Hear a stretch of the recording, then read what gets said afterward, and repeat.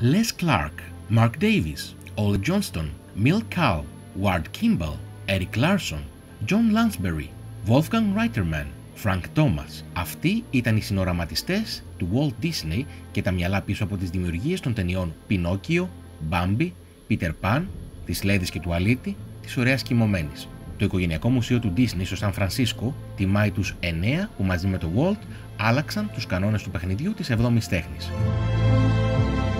The Nine Old Men, uh, the name was actually taken from the Supreme Court. So in the 1930s and 40s, the Supreme Court justices, there was nine of them, and uh, they were called the Nine Old Men. And Walt was like, you know, I've got these nine animators here who are my buddies and are helping me run things. They're my nine old men.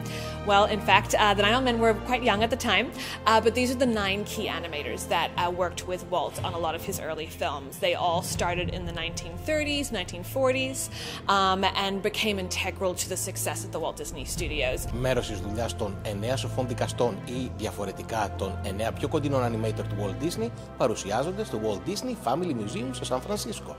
Uh, they were very well known for specializing in different areas, whether it was directing films or drawing villains or drawing princesses or creating concept art for various films. These are the animators that Walt couldn't have been so successful without. So we uh, pay tribute to them in this exhibition. We uh, separate this gallery space into nine sections. Don Hahn, he's the producer of uh, Beauty and the Beast and the Lion King. He's a good friend of the Walt Disney Family Museum. He curated this exhibition for us. And he went to a lot of the animators who work at the studios today who were given these pieces by the Nine Old Men. They saved them from being thrown away. They took them out of the basement at the studios, and they're all preserved and here for everyone to see. So we have over 500 uh, pieces of artwork in this exhibition for everyone to see. And you can see a lot of the personal artwork that they did in their free time, as well as their most iconic work for Walt Disney, whether it was working on Mickey or working on the Silly Symphonies or Peter Pan or Cinderella.